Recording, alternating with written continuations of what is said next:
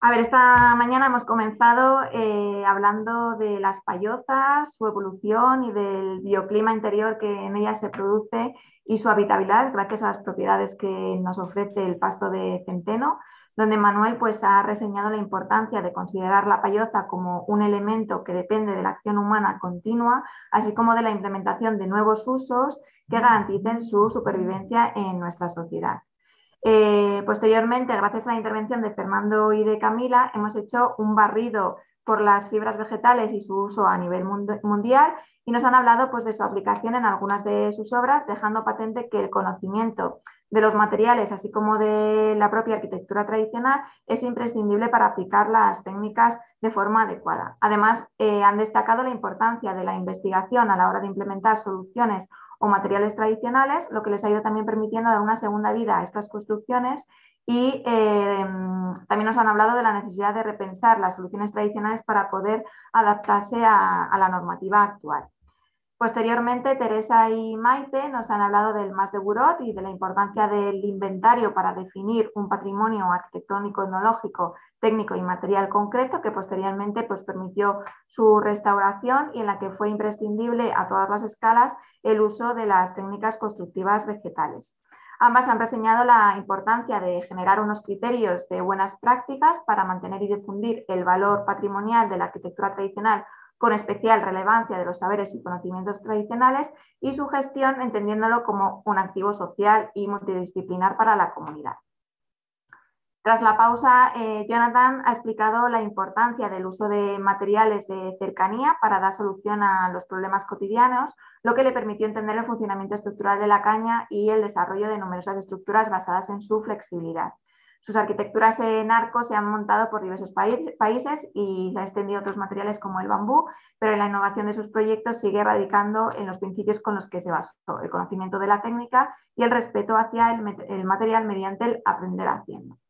Por su parte, Carles eh, también ha, recalcado la importancia del uso de los materiales de proximidad, pero desde un enfoque más bioclimático, haciendo hincapié en la transición ecológica que han experimentado los sistemas constructivos en las Islas Baleares y cómo las técnicas tradicionales se han extendido como el mejor recurso frente al cambio climático.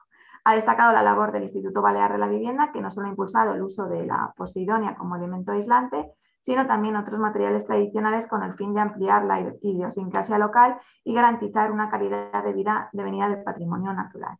Por último, eh, mi compañera Sara y yo hemos intentado dar una visión sobre algunas herramientas eh, básicas que ya se están implementando desde la Administración General del Estado y que pueden servir para establecer una serie de eh, planes de salvaguarda basados en esa visión sistémica, holística de todos los elementos que conforman este patrimonio de la tradición y que eh, necesitan de una visión multidisciplinar y de una metodología ¿no? basadas pues, en el conocimiento, en la protección, en la recuperación de los sistemas tradicionales de construcción y de los saberes de nuestros maestros y maestras artesanas y de eh, la difusión y la sensibilización que necesitamos para que eh, podamos llevar eh, a fin todas estas intervenciones.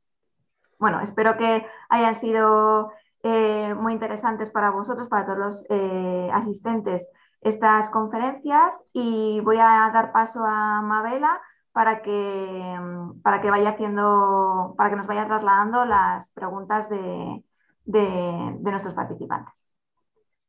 Muy bien. bueno, comenzamos la sesión de preguntas con dos comentarios dirigidos hacia Manuel Monteserín, que expresan que, bueno, que están totalmente de acuerdo con Manuel y que debería de haber un catálogo mucho más detallado sobre todos los hórreos que hay y su estado de conservación, ya que esto ayudaría a, su conservación.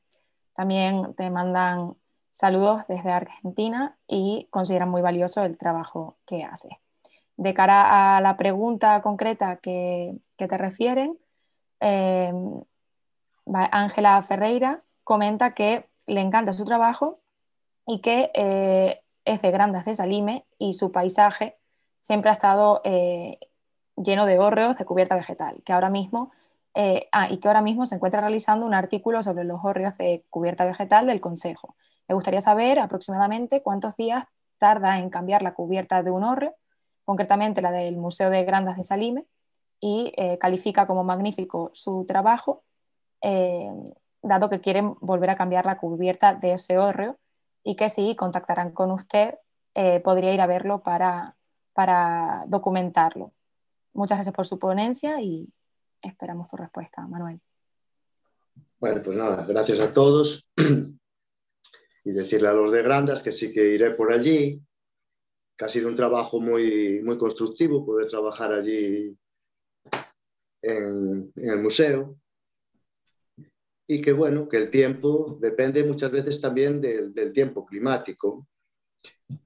Eh, de la otra vez que lo, que lo reformé estaba muy deshecho y entonces tardé bastante tiempo, no sé, mes o mes y algo, coincidió también en invierno. Pero bueno, ahora con cómo está, pues yo le calculo pues que 15 días de trabajo porque hay que desplazarse y hay que contar con que algún día llueve. Y bueno, el trabajo de los hórreos no, no puede ser no puede ser apretado, tiene que ir uno holgado un poco de tiempo para poder hacerlo bien, porque son detalles y son cosas que, que a veces llevan su tiempo, que parece sencillo, lleva su tiempo. Y nada, eh, preguntarle yo, hacer yo una pregunta también cuando después a Jonathan, que yo no sé si estuvimos trabajando juntos aquí en Balboa haciendo una construcción de las suyas, en que yo le puse el techo, a esas curvas de caña tan bonitas que hace. Yo creo que estuvo él por aquí hace bastantes años haciendo algo. Y compartimos todo. Sí, sí, claro, claro que, claro que sí. Sí, ahora me acuerdo, yo creo que me acuerdo de ti, el chiste de la payoza. Sí, en el río. Para los cara, pero sí, claro, ahora sí. Para los DJs y eso, y yo le puse. Exacto, sí, el pequeño escenario. Sí, yo pues creo que. Eso, me hubiera gustado me hubiera gustado uh, haber creado más tiempo para, para, seguir cubriendo y aprendiendo bueno, pues nada, cuando quieras aquí tienes tu casa en Balboa, que ya muchísimo para estas cosas tradicionales que siempre estamos apoyando. Y nada, me alegro mucho volverte a ver. Sí. Claro, claro, pues si, si estoy por ahí, pues nos, nos veremos. Vale, vale. saludo. Muchas gracias a ambos. La siguiente pregunta va dirigida a Fernando Vegas y Camila Mileto. En cuanto a los forjados, con la capa de compresión de yeso y los resultados conseguidos, ¿para qué sobrecarga de uso consideran que puede estar optimizado? ¿Sería viable el cumplimiento de las sobrecargas que marca el código técnico?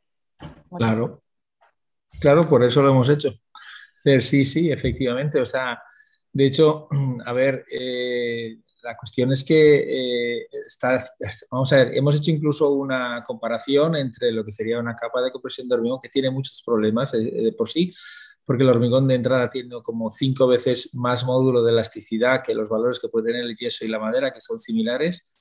Con lo cual, esto genera uno de los problemas que, eh, genera la capa de compresión, digamos, esa descompensación eh, digamos, que tiene el hormigón respecto a los materiales tradicionales, pero si uno considera lo que es el refuerzo neto respecto a lo que tiene que aguantar el propio peso, o sea, pero que una capa de compresión que uno añade, si, si el hormigón pesa mucho, de alguna manera tiene que aguantarse también a sí mismo. Si uno coge el refuerzo neto que obtiene de una capa de compresión de hormigón, de una capa de compresión de yeso, que es tres veces más ligera que el hormigón, o una capa de compresión de madera, que es incluso más ligera todavía, al final estarían empatadas prácticamente a nivel de resistencia.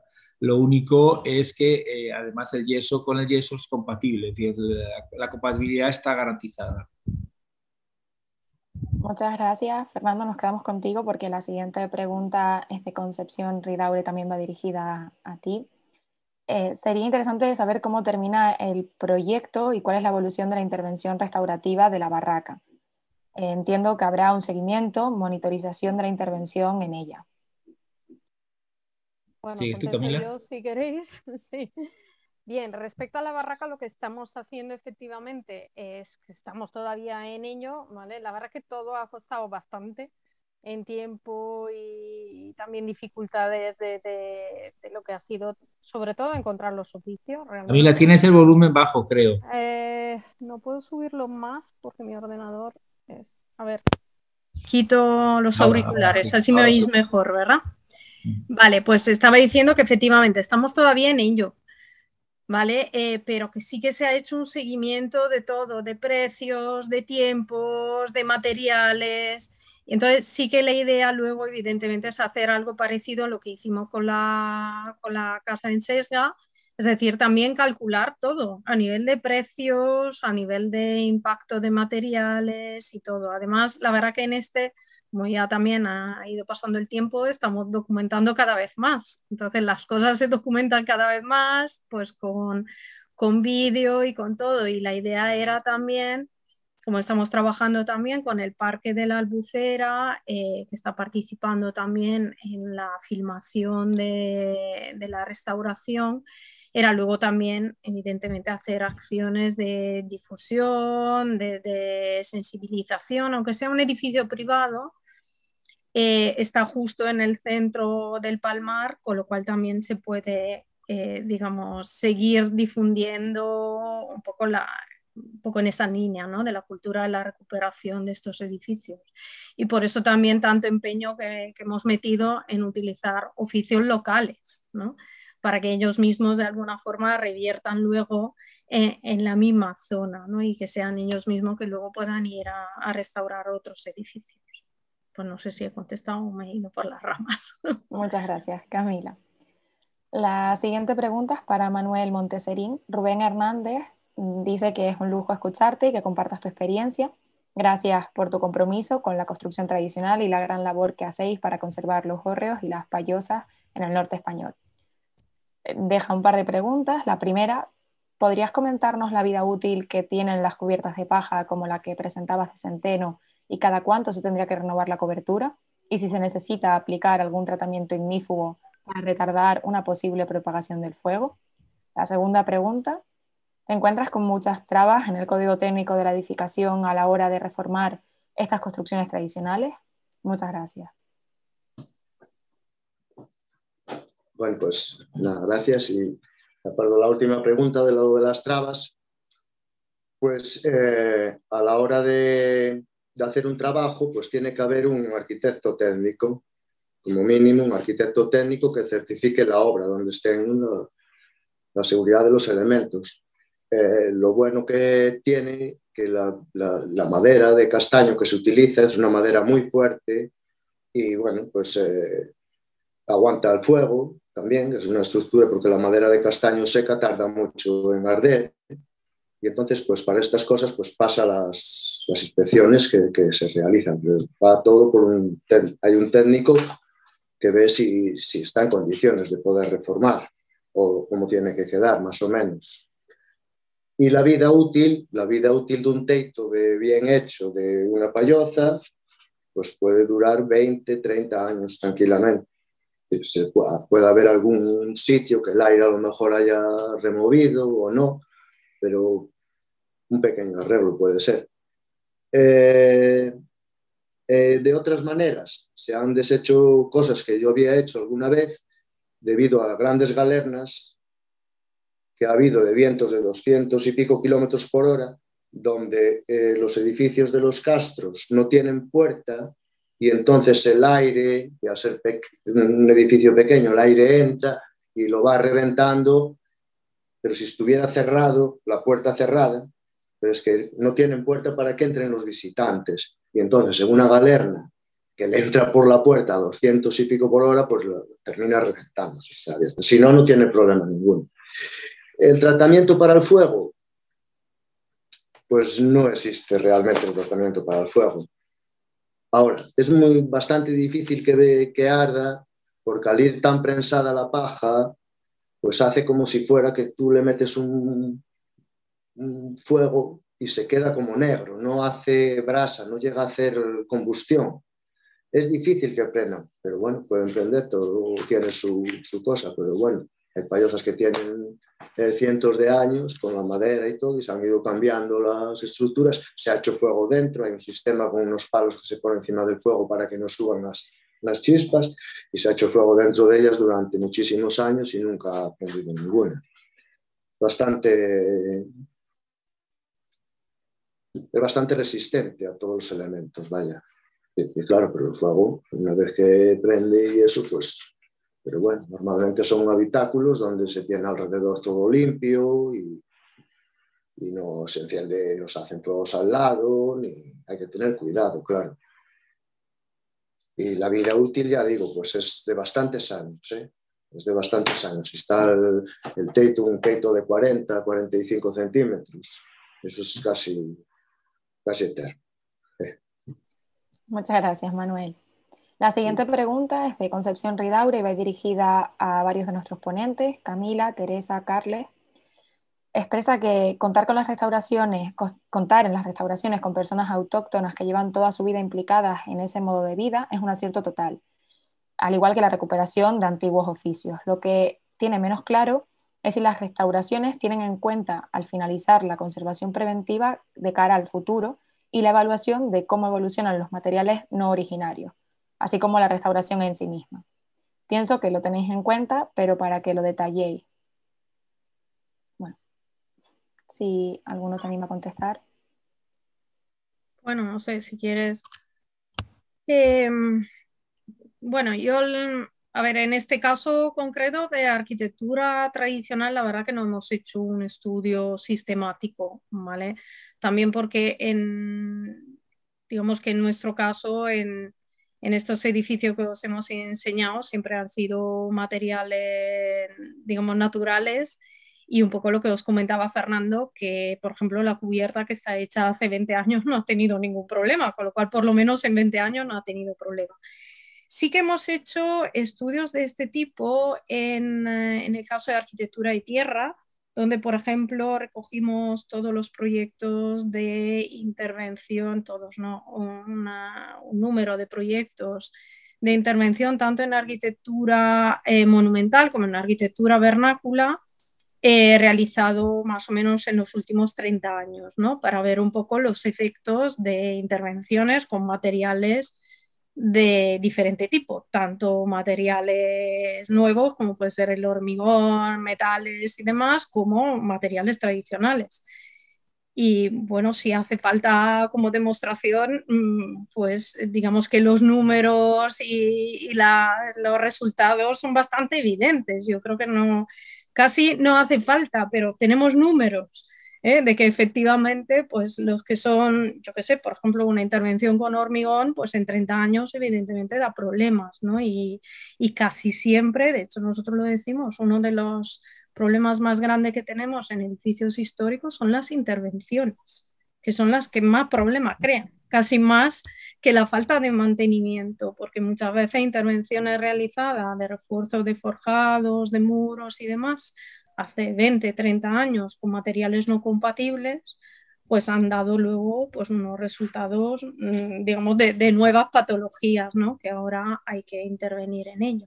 Yo quería decir un, detalle que no lo he comentado antes por las prisas un poco de contar. Eh, esa faldón de cubierta de, la casa de Sesga da sur, ¿vale? En Sesga se alcanza fácilmente 10 bajo cero en invierno, incluso, a veces incluso más y ese faldón en, en, verano puede estar a lo mejor a 70 grados. ese gradiente de 80 grados era el que nos hizo reflexionar sobre qué, qué material poner en las tejas, ¿no?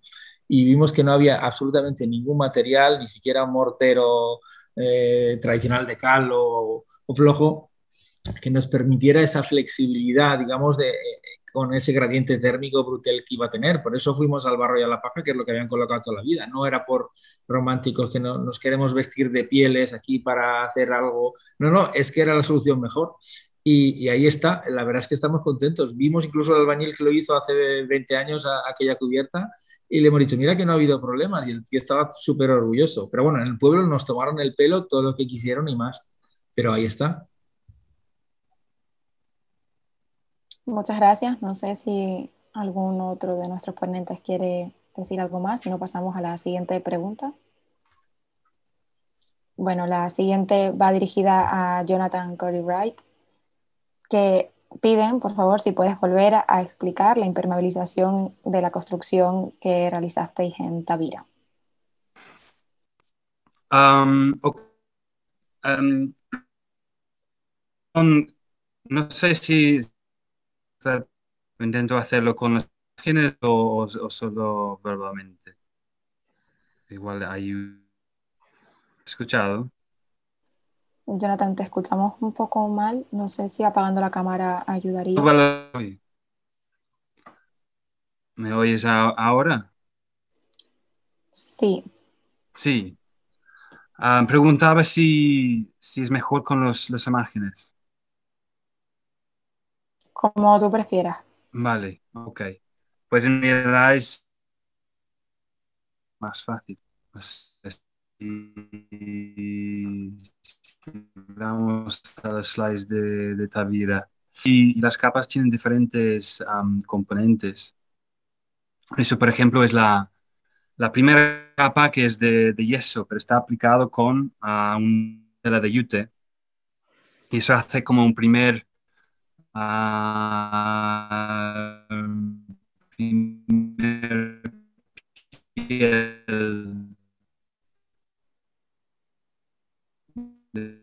la, la, estructura y eso lo que hace es que entonces como que el yeso uh, con el con la tela de, yute, hace como tipo escayola del tipo de, del brazo, o sea, hace como una un piel bastante fuerte y entrando entre las, entre las cañas, como crea una capa bastante, bastante rígida y ya da la estabilidad para ir teniendo nuevas capas de materiales que, que son más pesadas o sea, al principio como adhesión con la caña, por eso utilizamos o el yeso a veces la arcilla, tiene que tener una cierta elasticidad también para que, porque al principio siguen habiendo un poco de movimiento.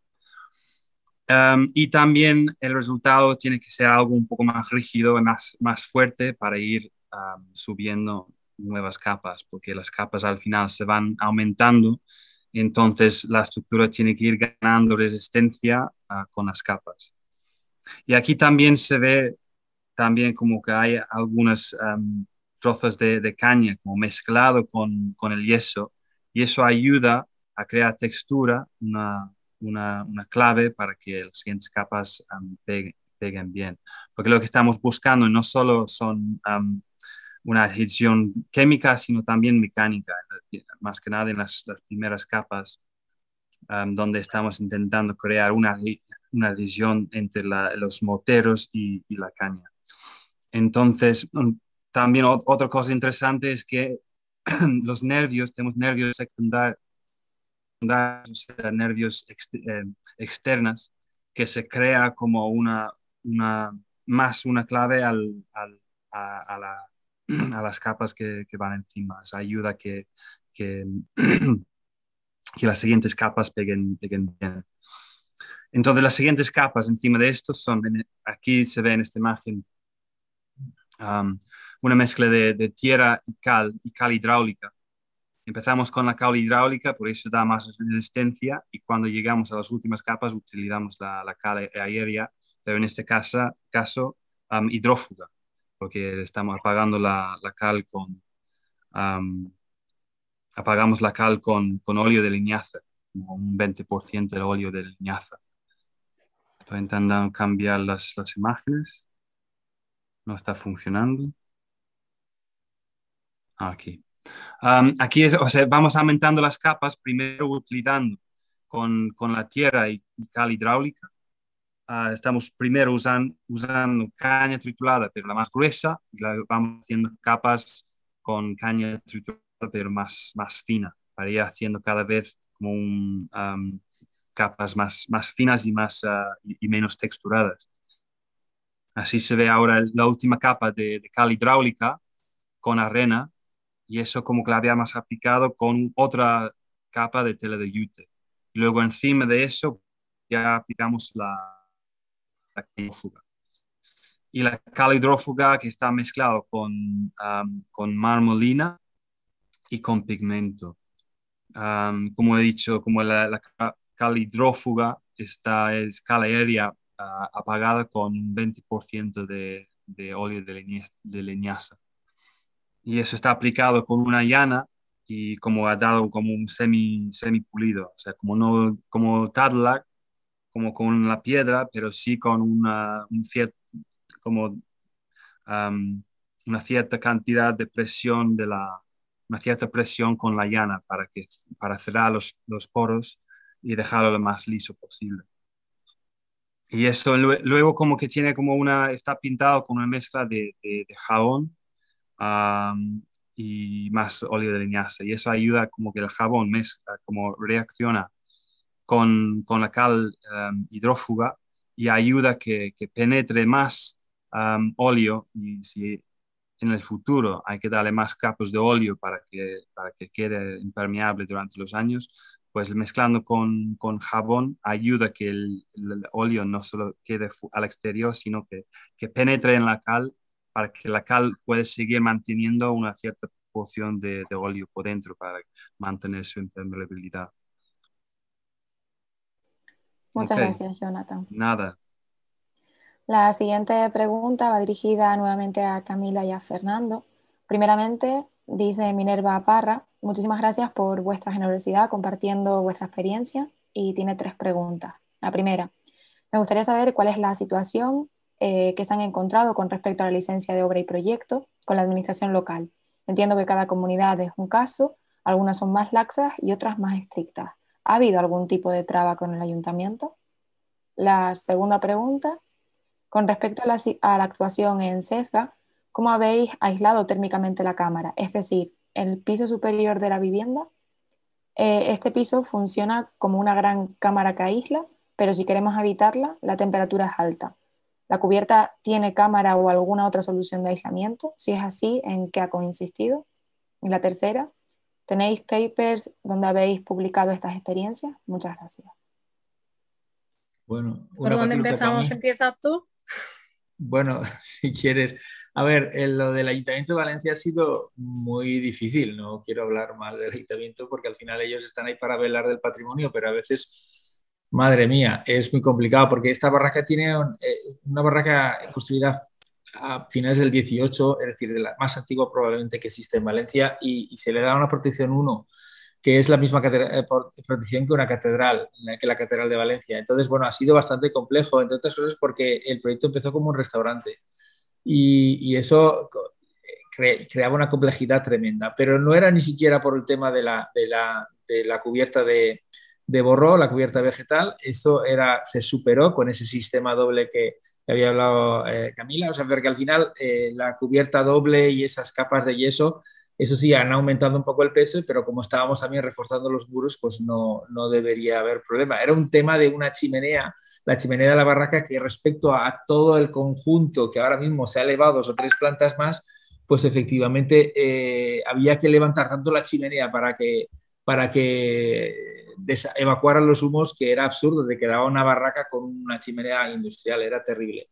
Entonces, bueno, al final se decidió por hacer un club y yo creo que es más lo que quería también el, propio, el propio cliente. Entonces, es una especie de, club privado. Y, bien, eso no, a ver, a partir de ahí ya todo ha funcionado de una manera mucho más fluida y, yo creo que el ayuntamiento de acuerdo con, con, todo. Al principio se sorprendieron de que, de que, a ver, de que no pudiéramos salvar más madera, hemos salvado algo de madera, pero ha sido casi imposible, pero es que estaba deshecha con el tema de las eh, termitas y, ya está. Pues eh, esa es la primera pregunta. La segunda para ti, Camila. Bien, la, segunda voy a ser muy sincera, ¿vale? Porque de eso se trata. Nosotros cuando hicimos el proyecto de la Casa de Sesga éramos jóvenes y, y, con muchas, muchas ideas en la cabeza y una de ellas era que teníamos que utilizar los materiales que todo el mundo podía alcanzar. No podíamos traernos nada que no estuviera en el lugar, ¿vale? Eso porque la idea era que fuera eh, algo repetible, o sea, no se trataba de restaurar nuestra casa, de hecho nunca ha sido nuestra casa, era más bien un laboratorio, y eh, se trataba de hacer algo, una experiencia para que los demás luego pudieran pues seguir un poco haciéndolo, ¿no? Probablemente los demás no tenían ni la posibilidad ni el tiempo de hacer el proyecto que habíamos hecho, el estudio y todo, simplemente podían hacer algo parecido, ¿no?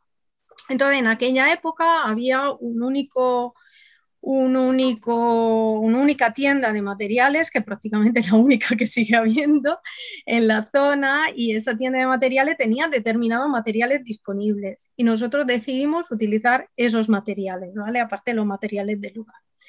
¿A qué viene eso? A que el aislamiento de la cubierta en su momento nosotros lo hicimos con unos paneles de aislamiento convencional, ¿vale? Cosa que no hubiésemos hecho después. De hecho, luego el resto de la casa se aisló con paneles de corcho y demás, pero que tuvimos que traernos de Valencia. Entonces, en ese momento dijimos, no, porque cualquiera que vaya a la tienda va a encontrar lo que va a encontrar. Ahora forzaríamos a que el señor de la tienda se trajera los paneles de corcho, pero en ese momento lo hicimos así, ¿vale? Por lo tanto, esa cubierta sí que se aisló con unos paneles convencionales. Sin embargo, en el caso de la, de la barraca sí que el aislamiento se ha hecho con paneles de corcho. ¿Vale? Y nosotros otras intervenciones que tenemos hechas son todas con corcho natural. Y luego no sé si había otra pregunta más. Bueno, sí, la pregunta es simplemente dónde encontrar material. Realmente si entras en nuestra página web, nosotros colgamos ah, bueno, sí. prácticamente todo lo que publicamos. Si no nos lo prohíben, lo colgamos. O sea que todo los, eh, lo que queráis está publicado y hay bastante material, eh, sobre todo de la Casa de Sesga, de la Barracano, porque está en curso. hay un detalle que le gustaría muchísimo a Carles, eh, que nos está escuchando respecto al corcho, porque el corcho, a ver, no era corcho por corcho, es que aquí tenemos la Sierra de Espadán, que está a 50 kilómetros del Rincón de Ademuz, ¿vale? Y 50 kilómetros de Valencia también, en el cual eh, se produce corcho, ¿no? Entonces estamos orgullosísimos de la huella de carbono reducida que tenía ese corcho. Eh, cuando hicimos el LCA, el estudio de LCA, descubrimos que el corcho de la Sierra de Espadán efectivamente se, se cosecha en la Sierra de Espadán, pero se manda a Oporto, para prensarlo y convertirlo en paneles y luego vuelve a Valencia, con lo cual tuvimos un corcho que al final tenía una huella ecológica de 1.600 kilómetros de desplazamiento, digamos, en, camiones. Pero bueno, a ver, supongo que algún día acabaremos produciendo. Poco a poco vamos mejorando, cada vez vamos buscando algo un poquito mejor. Es como si la Posidonia te la sacan ahí de, de Ibiza o de Formentera y te la mandan a Génova para que te la prensen y luego te la devuelven. Pues es que no mola tanto, pero bueno. Probablemente de lo que se trataría es de no prensarlo, ¿vale? Que no fueran paneles, sino que fuera directamente el corcho sin necesidad de prensarlo. Todo eso sí que podría venir directamente en sacos de la Sierra de Espadán sin mandarlo a Porto y volver. También hemos usado corcho en, virutas y yo creo que a partir de ahora lo usaremos en virutas, visto que si no tenemos que añadir kilómetros de, de trayecto. Muchas gracias. La siguiente pregunta es de Begoña C. Fernández y va dirigida a todos nuestros ponentes. Em, pregunta que, bueno, una de las barreras para el uso de técnicas tradicionales en la rehabilitación de edificios, tanto catalogados como no catalogados, y en nuevas construcciones es la aplicación del código técnico. ¿Se está implementando alguna medida para facilitar la convivencia de sus exigencias con las técnicas tradicionales? En su momento, cuando el código técnico se aprobó, circuló un borrador de aplicación específica para rehabilitación, pero no llegó a ser oficial.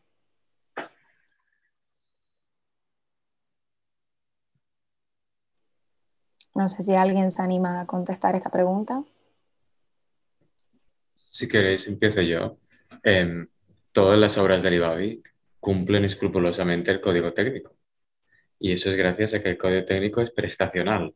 Es decir, que tú lo único que tienes que hacer es garantizar una serie de prestaciones.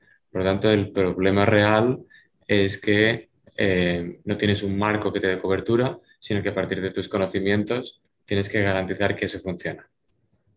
Por eso um, asumes un mayor grado de responsabilidad que si utilizas técnicas convencionales. Tanto lo que estoy convencido es que lo que nos gustaría a todos es que existiera ese marco ¿no? donde estuviera más recogido. Por eso, em, al final de la ponencia, em, sugería que se empiecen a, reiniciar o se recuperen esas, esas reuniones entre el Ministerio de Patrimonio y, la Dirección de, de Vivienda y de Arquitectura, porque sería absolutamente interesante que hubiera una mayor facilidad para que no solo los frikis puedan hacer eso. Muchas gracias, Carles. Bueno, la siguiente pregunta va dirigida a Sara y a Elena. Es de Samuel Caumont y pregunta sobre el plan de salvaguardia. Si tiene asignado un presupuesto para las acciones que comentabais, cómo se puede acceder como particular y si hay concursos o subvenciones y dónde se localizan. Respondo yo a esto, Elena, si te parece. Eh, bueno, mm, no tienen un presupuesto concreto estos planes de salvaguardia. Actualmente, en el ámbito de la Administración General del Estado, están planificados solamente para aquellas manifestaciones que han sido declaradas con la figura de manifestación representativa del patrimonio cultural inmaterial. Pero bueno, esto estamos hablando para bienes que tienen una protección jurídica. En el caso de planes de salvaguardia en general, eh, bueno, se puede acceder a, cierta financiación a través, por ejemplo, de las ayudas para proyectos de salvaguardia del patrimonio cultural inmaterial que se gestionan desde el Instituto del Patrimonio Cultural de España. Aunque son unas ayudas para proyectos de patrimonio cultural inmaterial, incluimos en ellas también pues, multitud de proyectos relacionados con los oficios y toda la dimensión inmaterial de los oficios de la construcción tradicional tanto a nivel de proyectos de investigación, de documentación para la elaboración de estos planes de gestión o salvaguardia, para proyectos de transmisión. En los últimos años, bueno, por poner el ejemplo del, año pasado, hemos hecho, pues desde el proyecto que, se comentaba en, la comarca del Sports, que han comentado las, las compañeras Teresa y Maite antes, que me parece que ha tenido, de hecho, tanto Em, apoyo para la difusión como para una de las fases de, ejecución. ¿no? Y bueno, en las últimas eh, ayudas que fueron de hace un par de años no se han convocado en 2021 y 2022, pero confiamos en retomarlas en 2023, esperamos.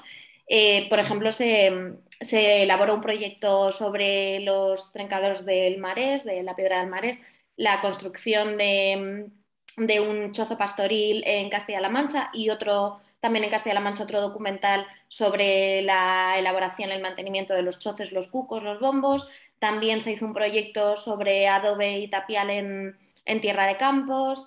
Eh, se hicieron unas jornadas de transmisión y de conocimiento sobre materiales y técnicas tradicionales eh, de la arquitectura tradicional en, Valverde de la Vera, en Cáceres. Entonces, bueno, aunque no son unas ayudas pensadas para la arquitectura tradicional, precisamente por esa vinculación tan estrecha e indisoluble entre patrimonio eh, inmaterial y arquitectura tradicional, bueno, pues pueden ser una, fuente de financiación para este tipo de proyectos.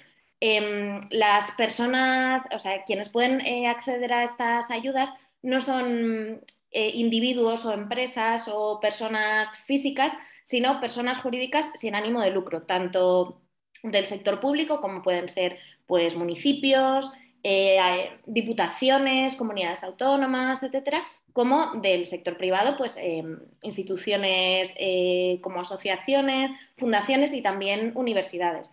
Entonces, eh, siempre hay algún agente de estas características que está alrededor de uno de estos proyectos, entonces se puede, se puede encontrar esa vía. Muchas gracias, Sara. Bueno, pues em, la siguiente pregunta va para Teresa y para Maite, un poco a colación de lo que acaba de mencionar Sara.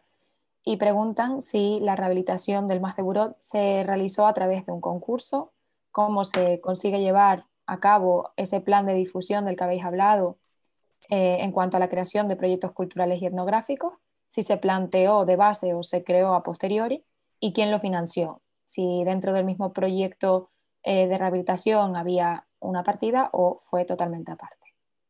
Vale. A ver, por lo bueno, vamos a combinar las dos la, respuesta. A ver, la iniciativa surge del Ayuntamiento de Ortega San Juan, que recibe una ayuda de promoción de ámbito turístico por parte de la Diputación y que recoge la petición que había hecho el Parque Natural del Sports de que, ah, que se quería poner en práctica el manual de buenas prácticas. Y entonces, disponiendo del MAS de Burot, se elabora todo este proyecto. ¿De acuerdo?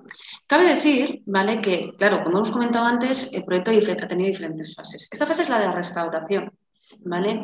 Pero cuando hemos hablado, por ejemplo, del circuito interpretativo que se realizó, este no se llevó a cabo con esta ayuda económica, sino que aquí hubo una ayuda, de, una ayuda FEDER, ¿de acuerdo? Una ayuda europea, y hubo también la de la propia Generalitat, ¿vale? Por otra parte, yo he comentado también otras fases como fue, por ejemplo, que gracias a la subvención del patrimonio inmaterial, lo que acaba de comentar Sara, exactamente en dos años pudimos, en primer lugar, hacer una formación en la escuela, donde os he enseñado cómo Ramón Sanz, el cañicedo, vino y enseñó pues, toda la elaboración del cañizo, cómo se, cómo se tiene que tejer, etc. Después tuvimos uh, una segunda ayuda, que es cuando se elaboró la famosa maleta pedagógica de acuerdo de, del SPORTS, esta vinculación entre la arquitectura tradicional y lo que sería el patrimonio inmaterial. Por lo tanto, estamos hablando de, uh, según el momento, ayudas diversas. Pero lo que es la restauración, ahora le, voy a pasar el turno a, Tere, en este caso vino a través de una promoción por parte de la Diputación, ¿vale? de tinte turístico.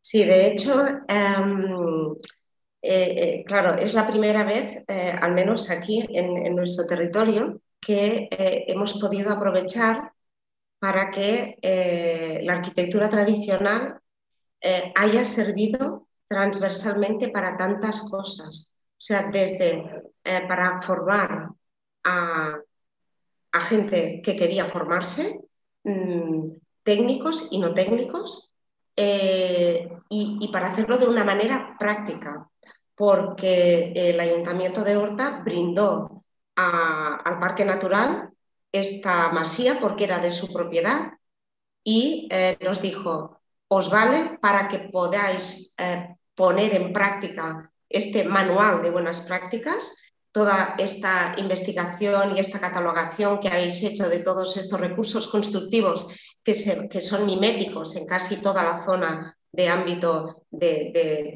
Parque Natural, y yo os brindo esta masía, es propiedad del ayuntamiento, para que mm, podáis mostrar eh, y podáis formar y de paso eh, pueda ser un producto turístico directo o indirecto a través de otros discursos culturales, eh, porque realmente, mmm, ¿por qué no enseñar a la gente de fuera y a la de dentro eh, cómo se construía, cómo vivían, por qué el establo estaba en la parte inferior, por qué la parte superior estaba ventilada, por qué la cubierta ventila y todo este discurso eh, que a veces es tan normativo a nivel de interpretación de código técnico, ¿no? Antes lo preguntaban, y que es tan racional a nivel de, arquitectura tradicional y que al final es la que funciona, ¿no? ¿Por qué no podemos enseñar esto eh,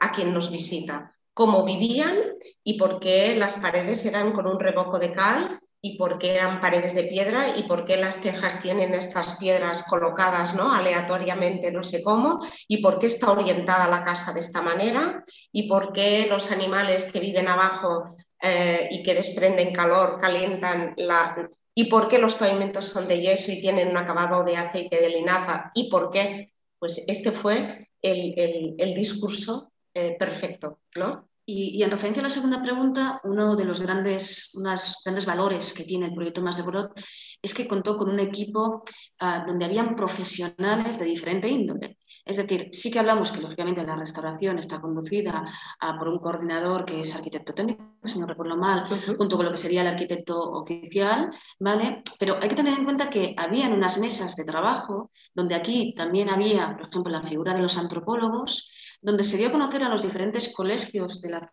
zona, como el colegio de aparejadores, de, arquitectos, todo el trabajo que se estaba realizando, donde había también una persona que trabajaba en el ámbito del turismo, ayudando a la creación de cómo dinamizar este espacio, así como teníamos en la administración. Entonces, claro, diferentes voces trabajando todas por un objetivo común es lo que yo creo que es una de las grandes riquezas, y creo que es una cosa compartida, que tiene el, el, más de Borot y que eso es lo que ha ayudado a que desde nuestro punto de vista se haya hecho un trabajo pues muy bien hecho.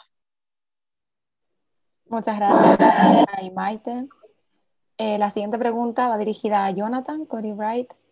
Quería saber cuánto tiempo de vida prevé para estas construcciones con caña. Um, pues depende en la um, um, el pasto, según el tipo de pasto y el, el, pasto que, hemos utilizado en, la, en, el último proyecto, pues está previsto unas 25 uh, con este pasto. Las, uh, las, cubiertas de, de, cal, pues reconocemos que requiere un cierto mantenimiento a lo largo de los años y lo que hemos probado es que la, con, con el óleo leñaza con, con jabón, pues dando una, una capa cada, cada año, se, se puede mantener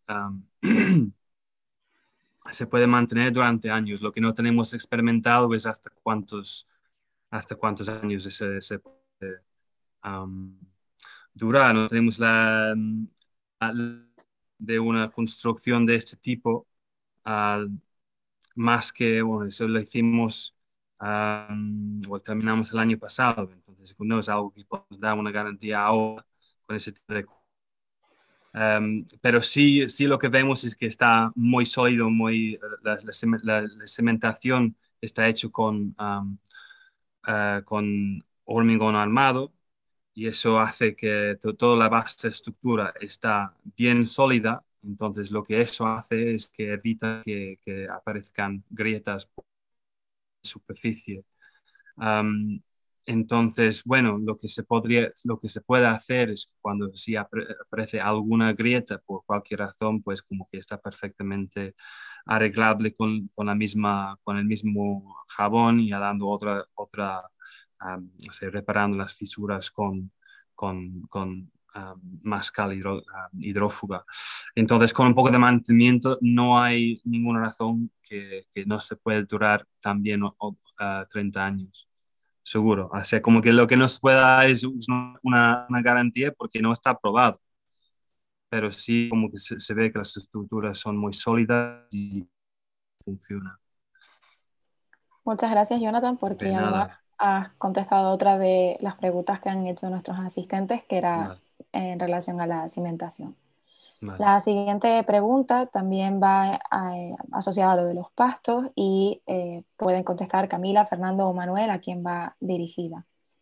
Eh, comenta nuestro asistente que si ayer se hablaba de la densidad de los fardos vegetales y que ésta no permite que prenda, si es realmente necesario aumentar el grueso en techos con estas técnicas arquitectónicas para que entre dentro de lo contemplado en la normativa de fuego.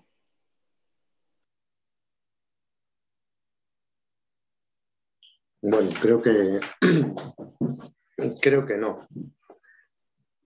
Creo que no, porque lo que se está pidiendo es son edificios tradicionales y lo que se está pidiendo es que de alguna manera cualquier edificio puede colapsar, puede tener un problema, hay que cuidarlo.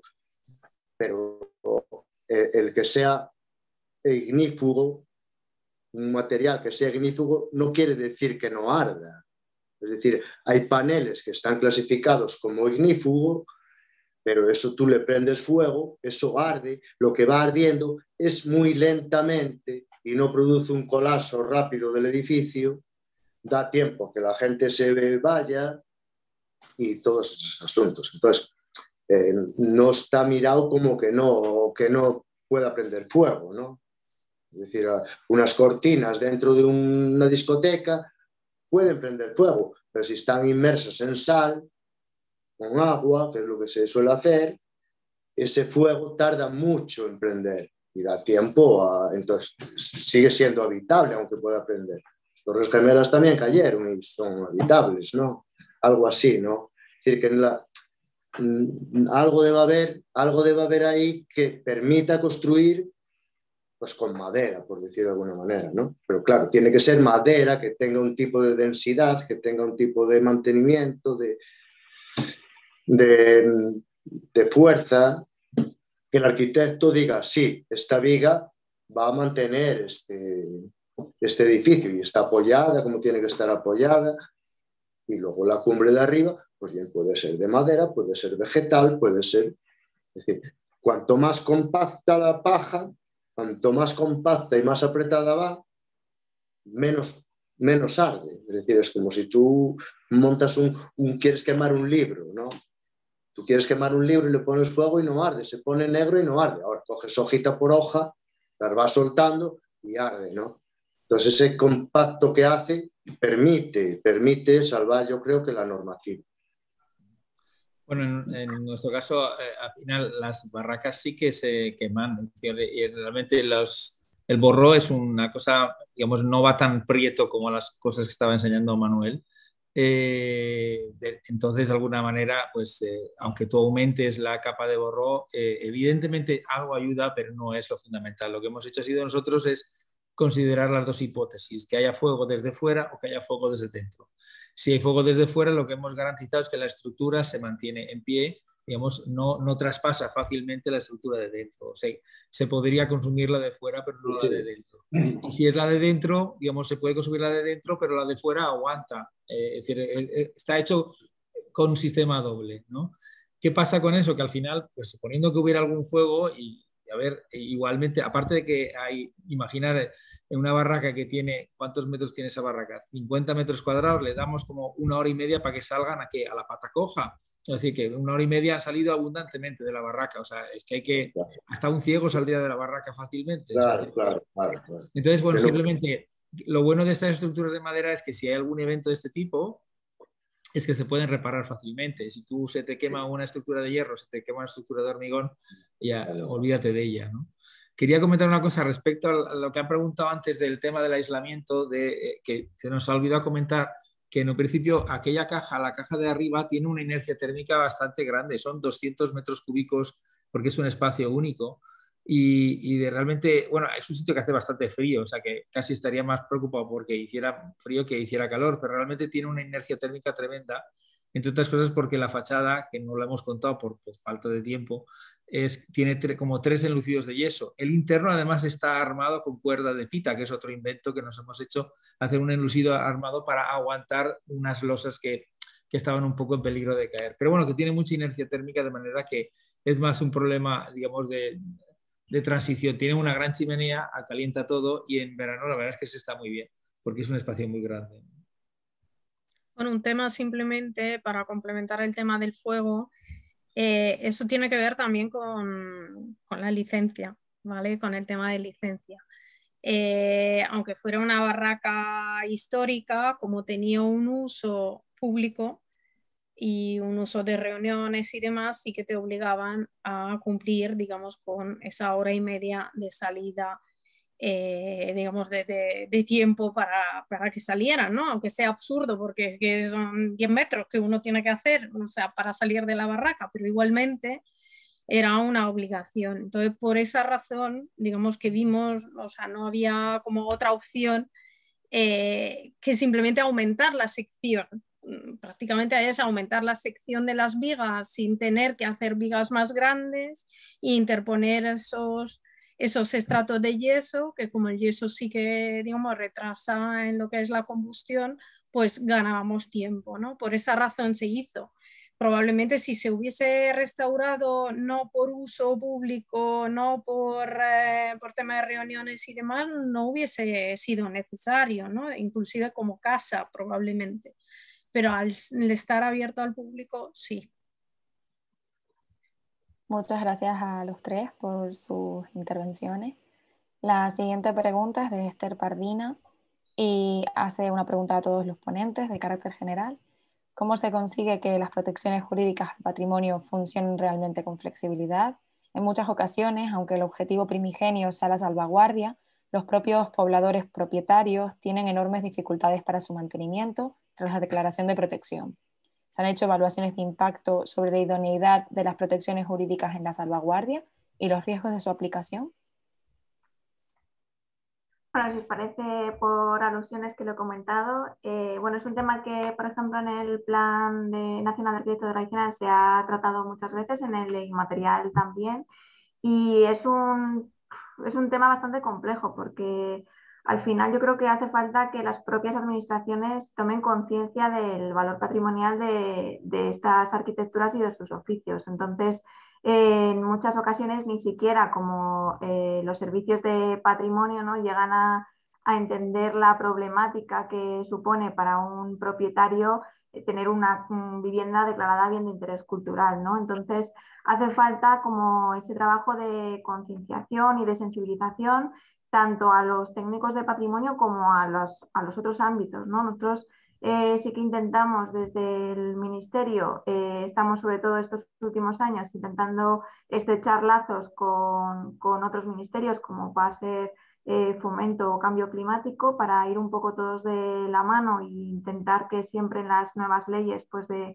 arquitectura y tal pues eh, se, tenga en cuenta el respeto por los valores culturales, pero mm, teniendo en cuenta también la problemática que conlleva y es complicado. Nosotros en muchas, muchas ocasiones nos hemos encontrado que hemos ido a alguna comarca a presentar el plan nacional y, nos decían, ¿no? Oye, no digáis que sois del ministerio, eh, no digáis que sois arquitecta y antropóloga porque, porque se van a pensar que, que, a lo mejor les vais a declarar la vivienda ¿no? y, y, no quieren saber nada de patrimonio ni de protecciones. Entonces, claro, yo creo que sí que hace falta un cambio de visión y que las administraciones empiecen como a incentivar, porque al final si solamente proteges, pero estás protegiendo, no les dejas que adecúen las construcciones a, a las necesidades actuales. No, mm, no les ayudas ¿no? con pequeñas subvenciones, con pagando pues, eh, o fomentando eh, con tema de, a lo mejor, pues si utilizas los materiales tradicionales, eh, la licencia es gratis o, poniendo parte de, los gastos de, de, las, de las restauraciones como hacen en algunos, en algunos gobiernos baleares también. Entonces, bueno, es un tema muy complicado que hace falta que pongamos un poco de parte de todos, pero aquí las administraciones es verdad que tenemos como un papel prioritario y, también yo creo que hace falta que la población lo demande, porque al final es el propietario el que se acerca a la oficina de, rehabilitación urbana o al ayuntamiento a pedir ayuda, ¿no? Entonces, eh, la población tiene que solicitarla y las administraciones tienen que estar capacitadas para ofrecer ese servicio.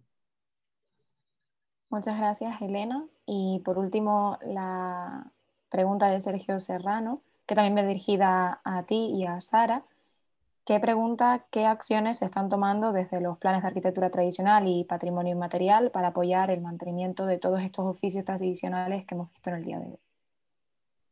Eh, Empiezo yo, Sara. Sí, sí, adelante.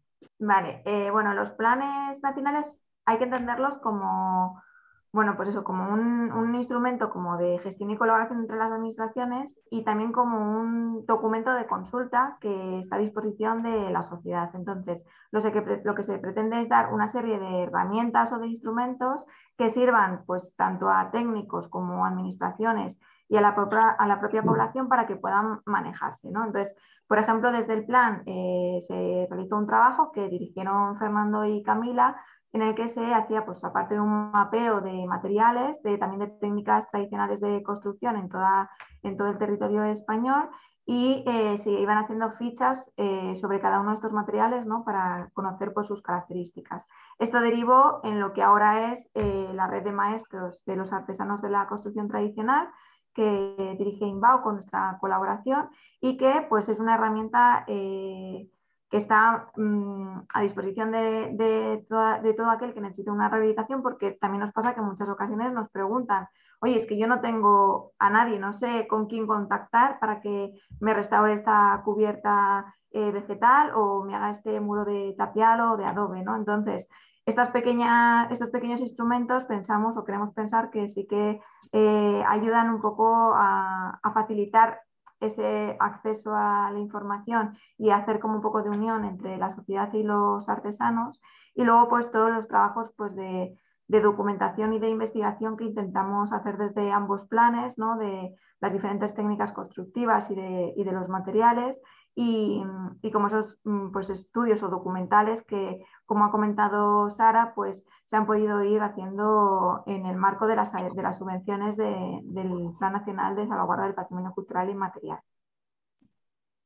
Solo para incluir una cosita más, aparte de todo lo que ha comentado Elena, y es que em, los planes eh, funcionan o, deben funcionar desde nuestro punto de vista a modo también de punto de encuentro entre administraciones vinculadas a los bienes culturales. Entonces, bueno, queremos poner nuestro granito de arena para minimizar ese impacto o contradicciones entre normas y entre iniciativas administrativas a distintas escalas, pues eh, manteniendo o acordando entre todas una serie de criterios y de formas de trabajar para, salvaguardar los, bienes del, del, patrimonio cultural y material y de la arquitectura tradicional en nuestro caso. Muchas gracias. Termina así el turno de preguntas y doy paso a nuestra compañera de formación, Victoria Calandra. Muchas gracias, Novela. Bueno, yo lo primero de todo, daros la enhorabuena tanto a los ponentes de hoy como a los de ayer por el, éxito inmenso de este seminario web, la cantidad de preguntas que ha suscitado, el debate que se ha abierto y que, y bueno, que espero que de aquí surjan eh, pues, otras iniciativas, experiencias y, nuevos proyectos. Yo creo que estos encuentros son muy necesarios y se ha visto que, muy positivos. Así que nada, enhorabuena eh, especialmente a la coordinadora Elena Agromayor y muchísimas gracias también por el soporte a, María Evelia. Y, nada, sin más, pues ya desde formación del Instituto del Patrimonio Cultural de España, despediros, eh, agradecer vuestra asistencia y, animaros a, que sigáis consultando las actividades formativas del Instituto del Patrimonio. Y, bueno, esperamos veros eh, más adelante por aquí. Muchísimas gracias y hasta siempre.